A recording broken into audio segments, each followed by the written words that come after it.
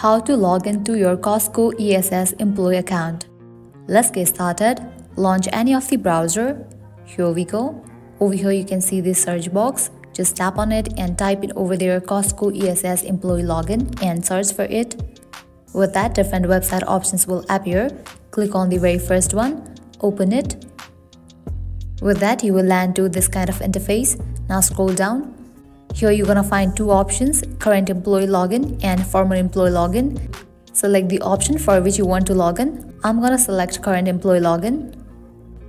From this page, you can easily log into your account. Firstly, you have to type in your username and then type in the password.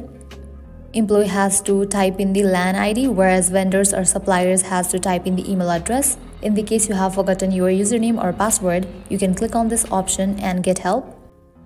After you fill these, click on sign in and with that you will be logged into your account.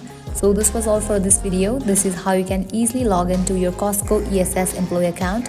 At the end, if you guys find this video helpful, don't forget to like, share and subscribe to our channel. Thank you.